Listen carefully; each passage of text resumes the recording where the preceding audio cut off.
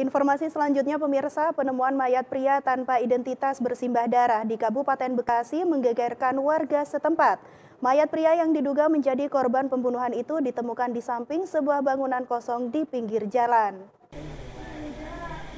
Penemuan mayat pria tanpa identitas bersimbah darah di pinggir Jalan Raya Kali CBL Cibitung, Kabupaten Bekasi pada Selasa 17 Mei menggegerkan warga setempat.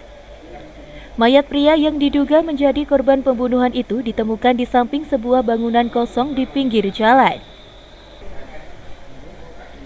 Bangunan yang hanya berdiri sendiri itu berada di samping kali kecil.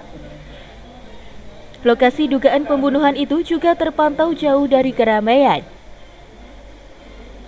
Adapun lokasi mayat itu tergeletak kini masih dipenuhi bercak darah yang terlihat memenuhi rerumputan dan tembok bangunan kosong tersebut. Garis polisi juga sudah terpasang di sekitar area tempat kejadian perkara. Kondisi korban saat ditemukan bersimbah darah dan terdapat luka sayatan di bagian leher. Korban mengenakan celana jeans dan singlet yang memiliki ciri-ciri yakni terdapat tato pada lengan kiri dan dadanya.